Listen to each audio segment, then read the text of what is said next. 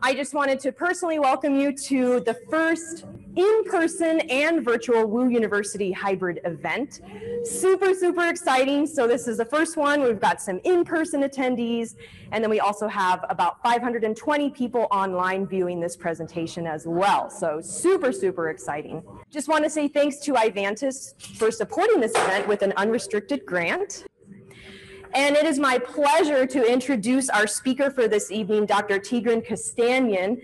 He, his uh, biography and list of accolades is very impressive, and I think you guys will be equally as impressed.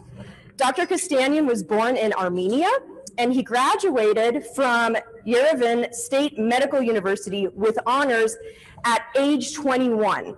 That in itself is super impressive. Most of us were graduating college if we were lucky at that age, let alone Dr. Kostanyan is graduating medical school with honors. He then completed his ophthalmology residency at Malayan Eye Center in Yerevan. And then after moving to the United States, he had to complete a second ophthalmology residency. And he's also glaucoma and anterior segment fellowship at the University of Pitts, Pittsburgh Medical Center. So not only one residency, but two residencies. I think all of us would have given up by then. Dr. Kostanyan specializes in cataract and medical laser and surgical treatments of glaucoma. He has numerous peer-reviewed publications and has presented his work in local and national meetings. He is fluent in Armenian, Russian, and plans on refreshing his French and learning Spanish. So please welcome Dr. Tigran Kostanyan. Dr. Woo, thanks for uh, your kind introduction and thanks for uh, organizing this event and thanks uh, Ivantis for unrestricted grant and um, thanks all of you for joining. It's exciting to be able to do uh, the event uh, in person. It looks like we're slowly getting back to uh, normal. So uh, we're going to talk about glaucoma and specifically uh, minimally invasive surgeries uh, and focusing mostly on the trabecular meshwork stents. So as financial disclosures, I'm consultant for Ivantis, which is uh, uh, the Hydrus microstent is their product. Um, so we'll talk about glaucoma, just basics, um, overview, look into recent MIGS trials, uh, discuss the preoperative counseling and postoperative care of the patients who had uh, cataract and MIGS procedures, and then a uh, couple cases and surgical videos, and we'll have time for questions. So um, as we all know, glaucoma is the second leading cause of irreversible uh, blindness, uh, second only to macular degeneration. And in the US, there are more than, more than 3 million uh, people diagnosed with glaucoma age 40 and uh, older. And 90% of patients in US have open angle glaucoma. And the, the most con concerning fact is uh, only 50% of patients who have glaucoma are aware of their uh, diagnosis. So here, here you can see the distribution, uh, the prevalence of glaucoma per state. So in average, it's 1.9%. It varies from 1.4 to 3%. And uh, not surprisingly, as our population ages and by uh, 2050, uh, number of people age 65 and above going to double uh, in comparison to uh, 2000. So the number of patients with glaucoma, uh, there will be a, a 270% rise uh, projected by 2050. And the current treatments we have for glaucoma, it's topical medications, uh, micro, uh, minimally invasive glaucoma surgeries, and at the, uh, the uh, other end of the spectrum are incisional glaucoma procedures like trabs and tubes. So in the recent decade, the MIGS procedures are not only uh, filling the gap between the uh, drops and the laser procedure at one end and incisional glaucoma procedures at other end, but actually uh, recent data supports that they are kind of overlapping, taking over um, some treatment options as um, both in early glaucoma and also in, in, in severe stage glaucoma. So the, the topical medications are around for for a long time, but uh, they're not as safe as we thought uh, earlier. So they carry burden both on uh, uh our side and most most importantly the the patient side. So there is a huge issue with uh, compliance, persistence, adherence. Uh, a major issue on, on our side with uh, all the time that we're taking to educate uh, patients, to, to do all the uh, refill, to follow up on the uh, uh, compliance of the patients. Uh, and on the patient side, it's the cost, it's the systemic side effects, it's the topical side effects, the disease related health quality of life, and the ocular surface um, issues. So uh, topical medications, they act uh, on the, uh, the topical uh, uh, on the multiple levels. They're disturbing the tear film, they're um, decreasing the number of goblet cells in the conjunctiva, they inhibit the proliferation and growth of the corneal epithelium, and uh, on the trabecular meshwork, there are some data supporting that they're uh, inducing the uh, trabecular cell apoptosis and uh, causing some uh, oxidative stress on the trabecular meshwork level. And here can, you can see uh, some, some common topical side effects such as prostaglandin associated uh, or the orbitopathy, uh, the iris color change also from prostaglandin analogs, um, topically uh, the contact dermatitis, and uh, on the uh, below on the right uh, picture are um, allergic conjunctivitis.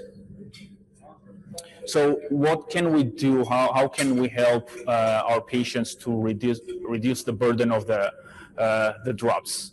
Um, so nearly 4 million uh, patients, uh, 4 million cataract surgeries are done in US um, every year. And 20% uh, out of this number, uh, the patients have concurrent uh, glaucoma. And the, the number of cataract surgeries um, is estimated to go up 3% every year. So um, you you all guys are at the front line of uh, eye care, and the, the, the cataract and the glaucoma patients are going to end up in your chair first rather than in the subspecialty uh, ophthalmology uh, clinic. So you have a, a great opportunity to to uh, impact patients' uh, life with this long-term, uh, potentially blinding disease. so the cataract surgery, it's nice chance to also address the glaucoma. So uh, let's look into the recent data that supports the safety and efficacy of minimally invasive glaucoma procedures. So as we all know, the, the uh, aqueous outflow, it's mainly through the conventional uh, way through the trabecular meshwork, through the collector channels, and downstream into the episcleral veins. Uh, and about 15 to 20 percent it's through the uveoscleral out, outflow through the ciliary body uh, muscles. And the resistance in glaucoma patients, the resistance within the conventional outflow uh, can come uh, from all the levels, starting from trabecular meshwork it's, itself, uh, through the uh, uh downstream to the uh, Schlemm's canal, the collector channels, and also the episcleral veins. So how are the MIGS procedures and MIGS devices addressing the high eye pressure? So we can, there are some disruptive procedures that where we're removing uh, tissue when we're unroofing the Schlemm's canal by, by removing trabecular meshwork, and it can be done by uh, different uh, ways and procedures like dual, dual blade, gonioscopy assisted uh, transluminal trabecul uh, trabeculotomy, and trabectome. Uh, there are canal dilating uh, procedures uh, where uh, an ABIC device uses a special catheter threading through the Schlemm's canal and dilates the canal with viscoelastic. and the Omni device has dual function. It can uh, dilate the canal, but it also can uh, remove the trabecular meshwork tissue. Uh, and there are two stents uh, currently av available. Uh, so the, the first is the iStent inject, or, or its older version and first generation um, iStent. Uh, which is which is basically a canal neutral pr procedure. It just bypasses the the canal and drains the aqueous uh, from the AC um, into the uh, co collector channels. And there is the Hydrus device, which is a larger device. It has not only uh, uh, it doesn't only bypass the uh, trabecular meshwork, but it has also a, a scaffolding uh, effect, which is unique to the uh, Hydrus mi microstent. So here you can see uh, almost every device that is there available. One of them, the CyPass, that it's on the left lower uh, part was recalled uh, a couple years ago because of the uh, corneal endothelial cell loss on their five five year follow up. So uh, let's just briefly look into the all the options and uh, to to to see what what device and what procedure does uh, which which part specifically. So. So we can increase the MIGS by by using the MIGS procedure. We can increase the uh, trabecular outflow. Uh, so um, as mentioned above, by removing the tissue, by doing a canaloplasty, dilating the Schlemm's canal, and by uh, putting a uh, bypass stent. Um, and uh, the space, the uveoscleral space, we don't have anything available. Um, so, so, the CyPass um, stent was recalled, and the iStent Supra is still uh, pending its um, FDA approval.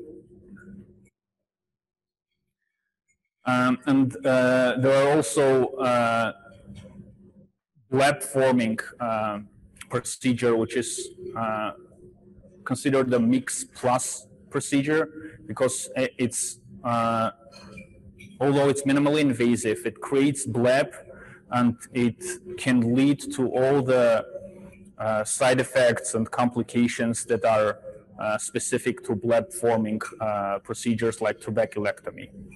And there is also um, an option to treat the ciliary body processes by doing an endocyclophotocoagulation uh, and reducing the production of the aqueous fluid. So uh, now increasing the, the, the uh, trabecular outflow by removing the tissue, it can be done by Kahook dual blade, by trabectome, and by a procedure, uh, gonioscopy assisted transluminal trabeculotomy, uh, which can be done with um, suture, an iTrack, or an Omni device. And all these uh, three groups of procedures can be done during the cataract surgery and as a standalone procedure. So the Kahook dual blade is a special uh, blade um, that has, so it's a uh, two blades on the on on a, on a ramp that per, uh, removes a strip of trabecular meshwork uh, mechanically. The trabectome it also removes the uh, trabecular meshwork tissue uh, by using the electrocautery. the gonioscopy assisted uh, transluminal trabeculotomy. Um, so with the uh, iTrack on above picture, you can see the iTrack. So it's a device that both iTrack and Omni uh, are devices that are using a, a, catheter that is thread into the Schlemm's canal.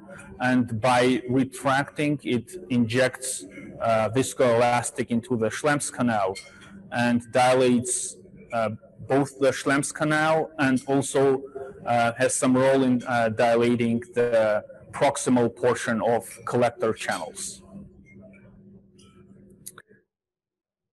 And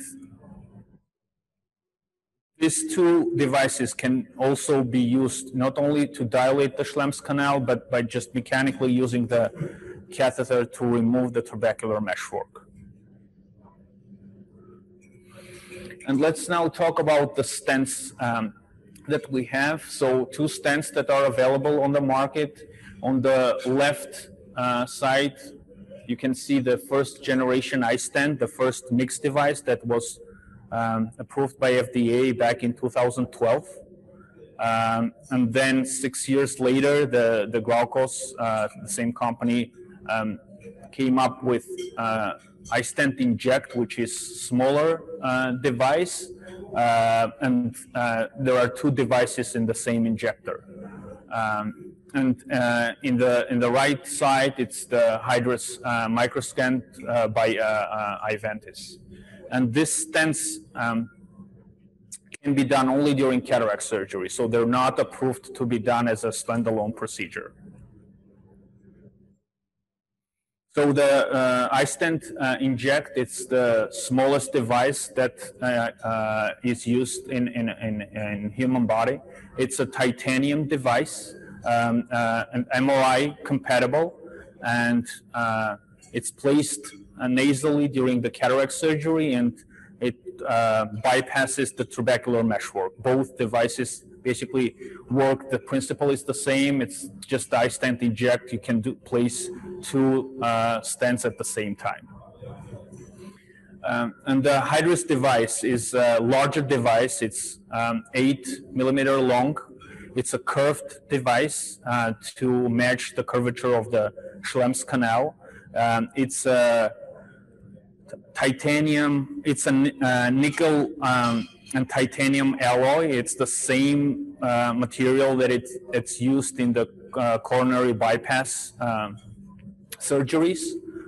Um, and the titanium cover, basically it's done to prevent an, uh, an illusion of nickel. And in the studies, the safety is uh, uh, 36,000 times uh, safer than the allowed level of the nickel uh, uh, th that is required by the FDA. So it was approved in 2018. And out of all the mentioned minimally invasive glaucoma procedures, there are only three uh, devices that had has been shown their efficacy and safety in randomized controlled trials. So the iStent, uh, which has a two-year follow-up, and um, it showed uh, a decrease in intraocular pressure uh, by 8.4 uh, millimeter, millimeters of mercury. Uh, and CyPass uh, device, which was, so the pivotal trial was two-year follow-up. It was approved. And then at five-year follow-up, um, and, it, it showed that there is a clinically significant decrease in endothelial cell count, so the device was recalled from the market. And uh, the third one is the Hydrus uh, device, which the pivotal trial was two-year follow-up, but the five-year data was recently presented uh, at uh, 2021 American Glaucoma Society meeting. So um, the Hydrus device, it's a flexible, uh, biocompatible, um, eight millimeter long microstent. It, um, it has three parts, the inlet, the transitional zone, and three windows. So it's curved and matches the Schlemm's canal. The inlet itself and about 25 to 50% of the transitional zone, it stays in the anterior chamber. The windows, they face the trabecular meshwork on the anterior chamber and the, the back part of the stent it's completely open. So it's, it's it is facing the collector channels and by being completely open it's not uh, covering the collector channels.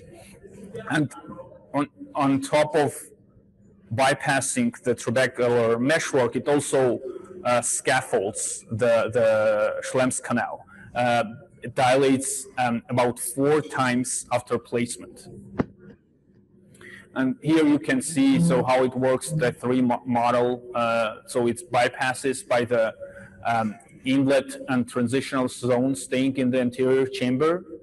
Uh, it dilates, as you can see, uh, the difference between above and below uh, um, histopathology uh, slide, the Schlemm's canal.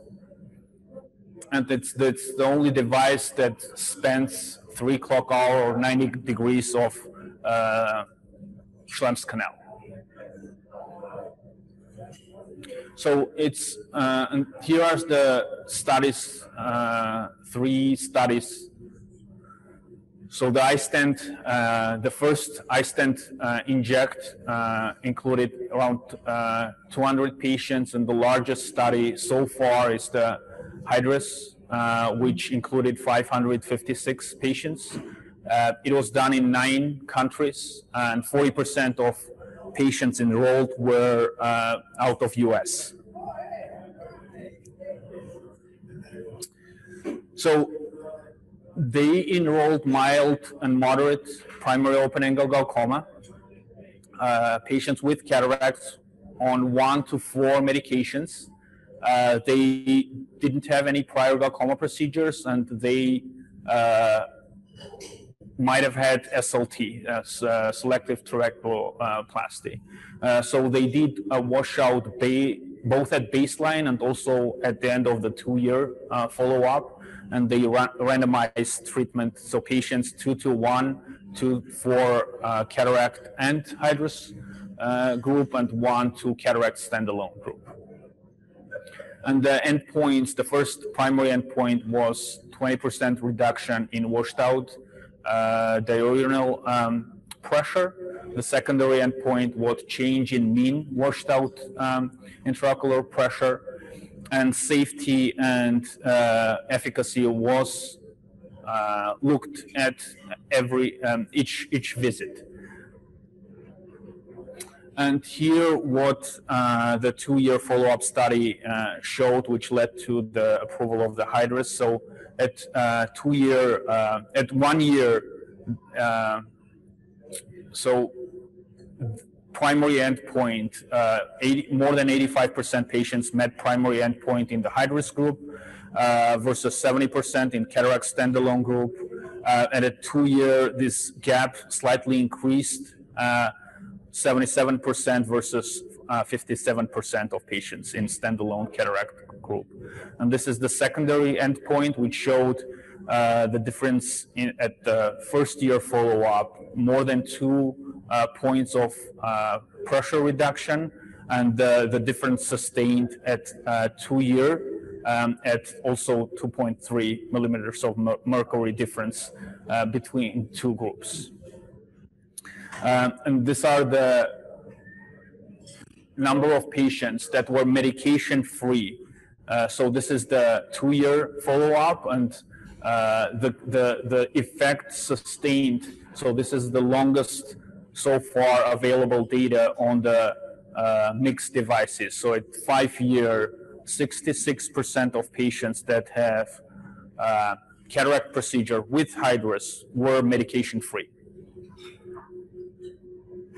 So, and the, this slide shows that the inclusion, the, the, the patients that were included in the study were well represented. It's a real li uh, life uh, representation. So, on the left, uh, you can on the left and right. On the left, you can see the number of medications that um, uh, uh, patients uh, that have glaucoma are the cross-sectional data and on the Horizon study, it's, it matches the real life uh, situation. And uh, at two year. Um, so pa patients that were taking one medication before the surgery at two year follow up, 86% of them were medication free.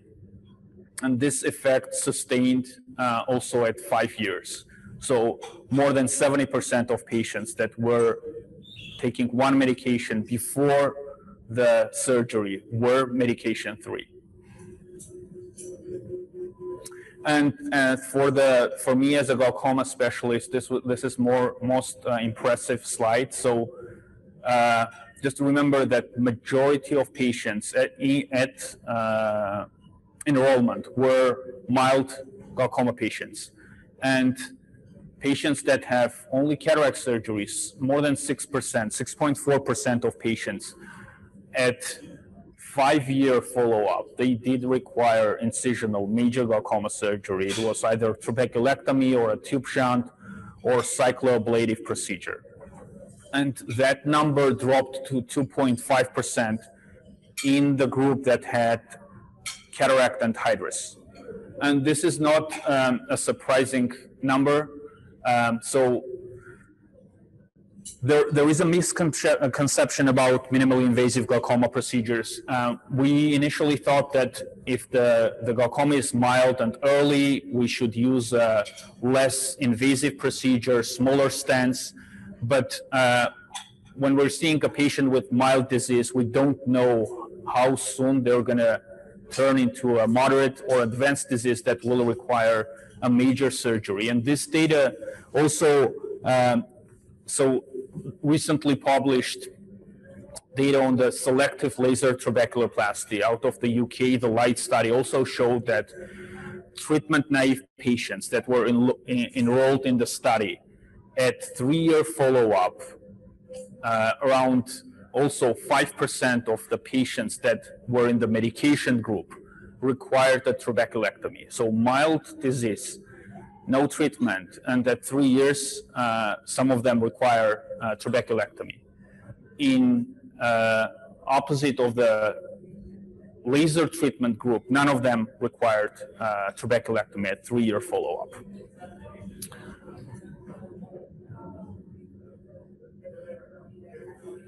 So uh, let's talk about patient selection and postoperative care. Uh, so patients who are eligible to get uh, not only hydrus but all the also this this uh, speaks to the uh, Glaukos uh, iStent, so they should have an open angle. Uh, they should have uh, clear, no significant corneal opacities that will block block the view during the surgery. they can be on no medications. They can be up to on, on all the classes of medications. And um, having a, a prior uh, laser trabeculoplasty is not an indication that uh, they can't get a, a, a trabecular meshwork stent.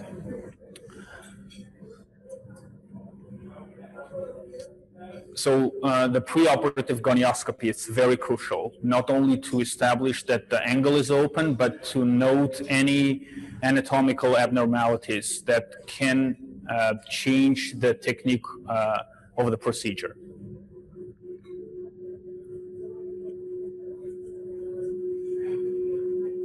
And currently, the uh, trabecular meshwork stents, both hydrus and um, iStent, are approved uh, for mild and moderate disease only. So here you can see a mild disease where there's no visual field loss, but uh, there should be a characteristic optic nerve um, damage. Uh, a moderate disease when there is uh, visual field loss only on one uh, hemifield and not involving involving five the central five degree. And currently, it's not approved to be done in severe glaucoma, but there is uh, recent data. Uh, so one study is ongoing uh, to look into stents in severe patients, and preliminary data show that there is an advantage to use the stents also in severe stage disease. So the hydrus, the contraindications uh, for placement, the trabecular meshwork stent are traumatic uh, glaucoma, malignant glaucoma, uveitic glaucoma, uh, neovascular glaucoma, or any any uh, uh, anterior chamber angle abnormalities that will not let technically uh, to place the stent.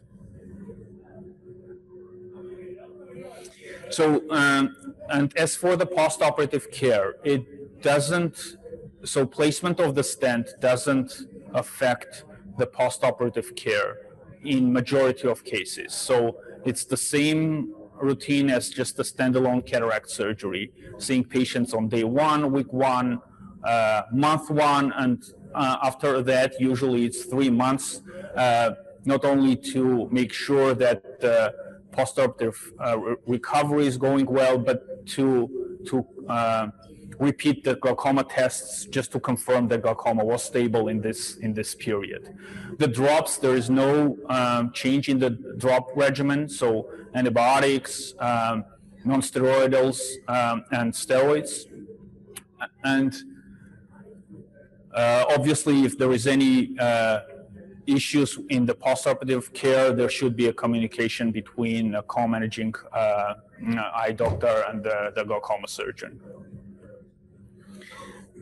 So, uh, and the, uh, the usually uh, the gonioscopy, it's a surgeon uh, surgeon decides when he, he does gonioscopy in, in the postoperative period. I usually do it at uh, one week just to confirm the uh, proper placement of the stent. And um, here on the pictures, you can see a nice placement of the stent. Uh, so, um, as mentioned earlier, that the inlet should be in the AC. About 50 to 25 percent of uh, transitional zone also should be in the AC, and the rest, the three windows should be nicely uh, visible in the Schlemm's canal. Sometimes when the uh, trabecular meshwork is heavily pigmented, there is hard to see the windows. Uh, but the position of the inlet uh, tells uh, if it's properly positioned or not. There should should not be a weird uh, angulation of the uh, inlet and the transitional zone.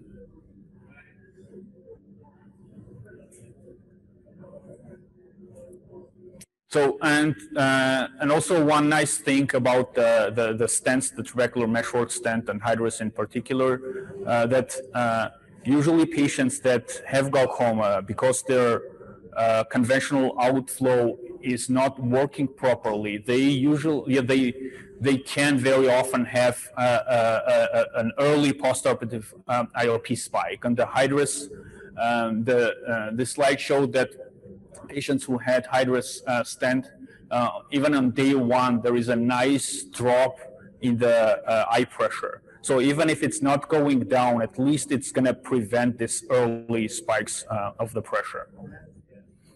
And as per, per the safety uh, uh, data, so there is not much difference between the findings between uh, there were no much difference um, between Hydrus group and uh, cataract standalone group. There was some transient uh, microhyphema and uh, layered hy- hyphema which was less than one millimeter but which was uh, gone by one month in in all the patients there's, there might be some transient uh, corneal um, edema, also transient. Then uh, more than 99% of patients, uh, the swelling, the corneal um, swelling, the stromal edema went away at one month. And as per the AC reaction, there was no uh, no difference between uh, two groups. The Hydrus group had uh, a slightly larger number of patients who had rebound inflammation, but it uh, was uh, everything resolved with uh, just topical steroid drops. And here yeah, you can see that as per the uh, anterior chamber cell and flare, uh, all the numbers are exactly the same between two groups. As per the postoperative events, so not much different. The Hydrus group had less, as expected, IOP spikes. Uh, there was no hypotony in either group.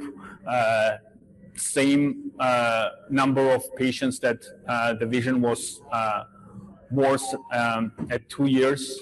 Um, and the same number of patients that less, actually less patients in the Hydrus group progressed uh, by visual field uh, uh, uh measurements at two year and also the, the gap sustained at four year follow-up. And because um, it's an extra stent in the anterior chamber, there, there are some patients that have uh, posterior synechia, but it, it, was just only on the gonioscopic exam. It didn't lead to difference um, in uh, IOP measurements.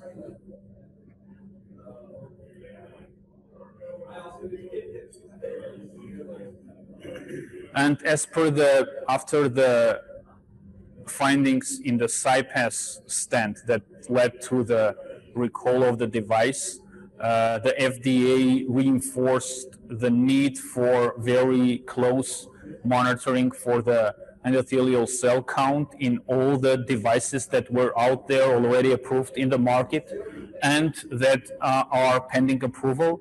And as you can see, at five year, there is uh, uh, no difference between the Hydrus and cataract group and the cataract group alone, uh, uh, as per the endothelial cell count.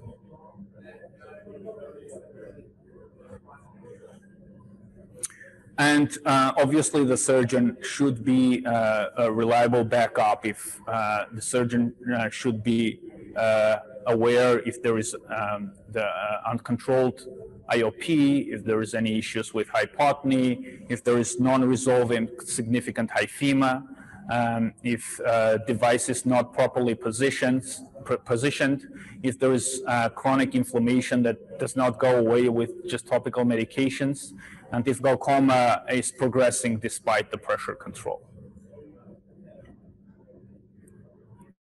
So, uh, and the take-home points that today we have the data that supports uh, not only the safety but the efficacy of the minimally invasive uh, glaucoma procedure, specifically the the longest follow-up, five-year follow-up for the Hydrus uh, device, and the cataract surgery, it's just one, one chance for the patient, not only to improve the vision.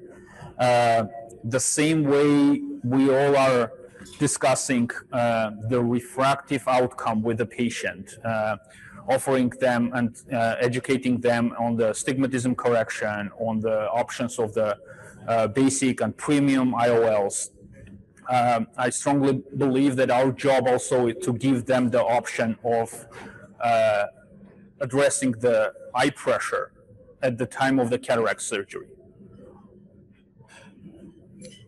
And the, the data strongly supports uh, that the stents are uh, efficient. They are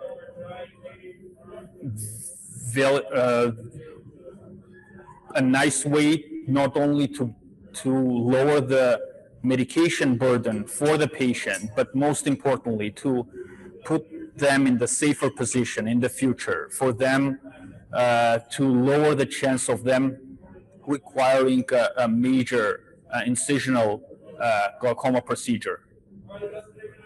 And uh, at the end, I'm gonna I'd like to uh, present just two two cases that uh, I saw during this last last month. So the first patient was referred for uh, cataract and glaucoma evaluations. 67 year old African American lady.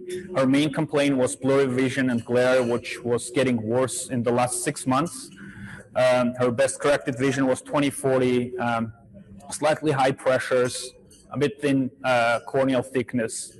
Um, on exam, she had 2 plus uh, uh, nuclear sclerosis, uh, symmetric increased cup to disc ratio, um, and uh, on, on the testing, it showed mild disease with some um, NFL and ganglion cell complex loss, but normal visual fields.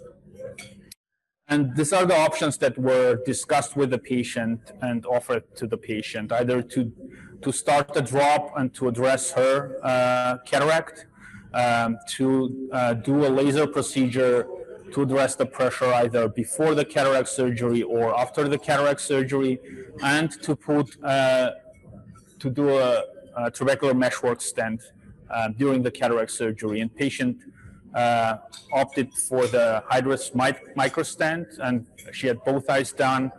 Uh, four months post-op, she says 2020, and her pressures are in mid-teens uh, without any medications. And here you can see a, a short video of the, the iStent uh, placement. So uh, to be able to visualize the trabecular meshwork, uh, I'm using a special gonio uh, lens.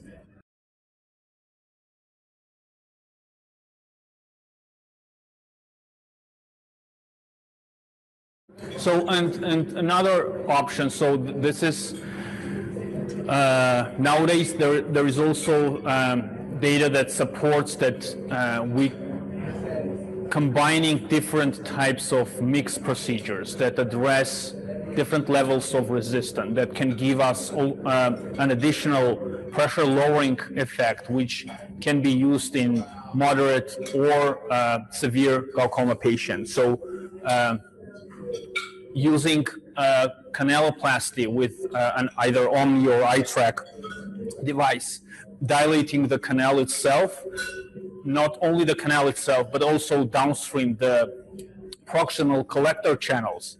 And after dilating the canal 360 degrees, uh, then placing uh, a stent um, just to uh, keep the canal open to scaffold the stent uh, gives extra one or two points, which can be crucial in patients who have uh, who are who are moderate and who are at high risk of uh, going into the severe um, stent. Uh, basically, in the second clip was uh, the combined procedure, the canaloplasty with an Omni device, and then after dilation, placing a, a, a stent. And uh, the, this this was the the patient that I choose to do a combined procedure. So, uh, completely different story. Uh, younger uh, gent- gentleman. Uh, no. Yes. So um, he um, on the right eye he has severe glaucoma. Um, he had uh, three SLT procedures in the past. He had some issues with compliance. At some point, he was on four medications, but uh, when I saw him first time, he stopped all his medications because um, severe dryness, redness, uh, which was giving him uh, um, blurry vision on top of his worsening cataract. On the left eye, he had a sad event. Um, uh, unfortunately, uh, uh, for his severe glaucoma. So he had uh, a glaucoma drainage implant placed uh, about seven years ago, uh, which uh, failed a couple years later. Then he had a second device placed in a different quadrant, uh, and the second device um, um, eroded um, twice. He had two surgeries to revise the device. Uh, but eventually it led to end of endophthalmitis and he had a vitrectomy. Uh, now he has just um, LP uh, at, at, that eye and um, not surprisingly, he, he, wasn't very thrilled to hear that he might need the same type of device in his uh, only seeing eye. Um, and uh, although he's, he was severe disease, functionally monocular, and his one of his main issues was also worsening cataract. So I discussed with him an option to do the combined procedure. Um, so canaloplasty, microstent, and cataract uh, surgery. But uh, him understanding that this is just most likely a temporary solution, just to postpone an inevitable incisional surgery. Um, and he, he uh, agreed to that. So he's when I saw him, his pressure was 32 uh, in his right eye on three classes of, uh, of meds. Uh, and he had clinically significant cataract and severe disease uh, with a structural uh, change and inferior arcuate scotoma, which was approaching the fixation. And these were the options that I, I discussed, either increasing the, the drops, uh, which he had issues with compliance before, Um, not not just because he, he doesn't care, but because the drops were really making the surface uh, just uh, severely dry. Uh, a, less favorable option of doing his fourth SLT, which the chances of its wor- working are very low.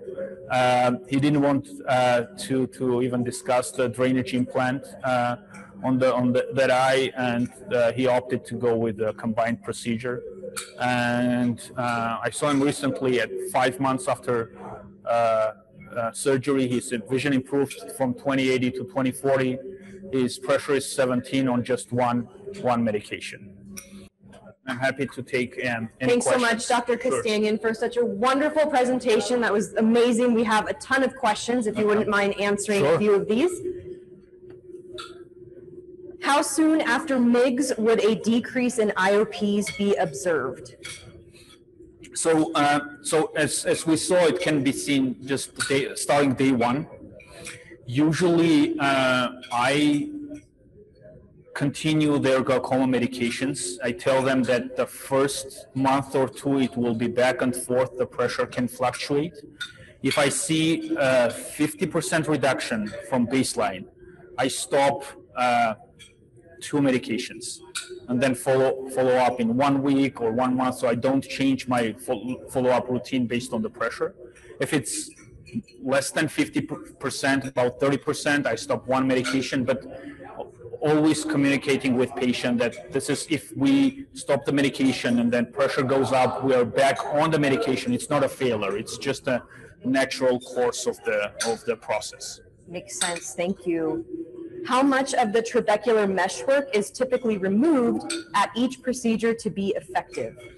So um, there usually the base depending on what device we're using. So if the Kahook dual blade is used, you can uh, just because of the technique of the surgery, you can only remove the nasal trabecular meshwork. If uh, the suture or an Omni or an iTrack device is used, you can technically remove all 360 uh, trabecular meshwork. Uh, but uh, because removing 360 trabecular meshwork, um, the most common postoperative complication is severe hyphema. Nowadays, and the data supports that actually there is no difference if you remove 180 degree and usually inferiorly, which leads to less severe hyphema. Uh, so if necessary, it's either 90 degree nasal with Kahook dual, blade or 180. Uh, sometimes when the disease is severe enough, all 360 degrees. Thank you. Can more than one Hydrus microstent be implanted at one time? So it's not it's not approved. Uh, there are some off-label uses, but it's not going to be.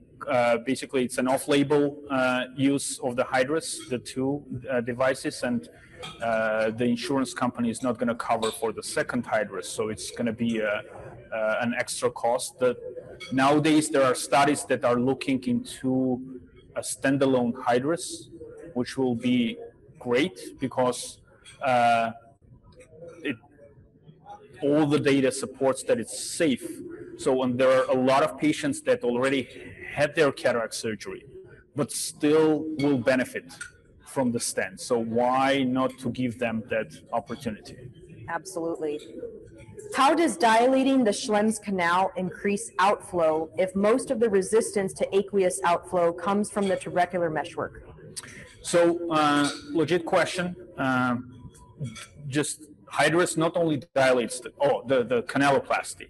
So the uh, because we don't have uh, retro, uh, all the data is retrospective with the canaloplasty, not the Hydrus uh, or the um, iStent. The dilation, um, the idea is that it's not only dilates the canal, but it also dilates the collector channels. And there, there is some histological data that supports glaucoma, that showed that glaucoma patients have what's called herniations of the trabecular meshwork into some collector channels. So the dilation actually um, opens up these herniations and uh, we don't know how long the effect will last. So that's why so far the stenting has been shown a better option, but the dilation uh, has two advantages. First, it can be done as a standalone procedure, and second, it can be combined with the stent. So you're dilating the canal collector channels and you're supporting the dilation with the stent. Thank you. Okay, two more questions.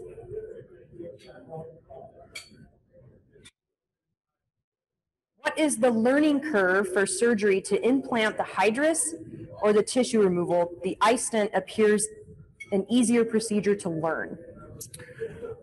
So for me, during the fellowship, I did all the MIGS procedures. Uh, for me personally, the Hydrus was easier because it's just a larger device. Uh, it goes into the the canal.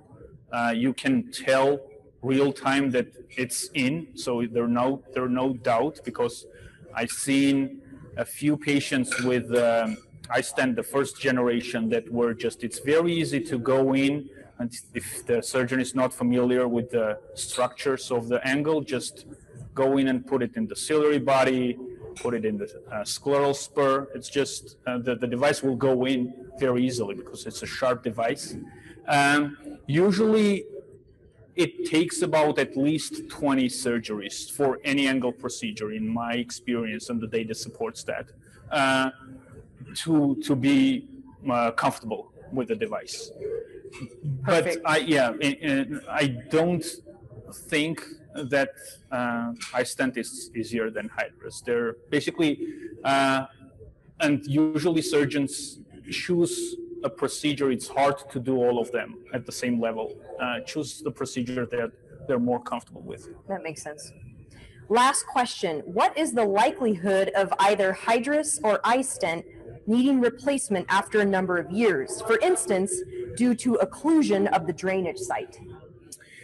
So, so far at the five year follow up with the Hydrus, although about 7% of patients had some uh, posterior synechia, uh, even if the synechia were occluding the uh, inlet itself or transitional zone itself, it didn't show that it affected the pressure because of the not so multiple model effect of the hydrus. The maybe the inlet is closed, but because of the scaffolding and because of the windows facing the TM, it's still working.